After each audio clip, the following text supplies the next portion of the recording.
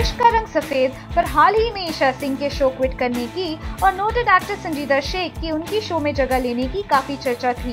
पर अब सूत्रों की माने तो इस सीरीज़ के मेन लीड यानी मिशाल रहेजा, इस शो से एग्जिट कर सकते हैं।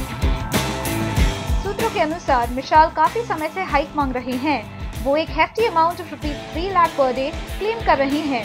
जब उन्हें मेकर से कोई रिवॉर्ड नहीं मिला तो उन्होंने प्रोड्यूसर्स को अल्टीमेटम दिया। ये बताते हुए कि 5 जुलाई को उनके कॉन्ट्रैक्ट खत्म होने पर वो इस सीरीज़ को क्विट कर देंगे।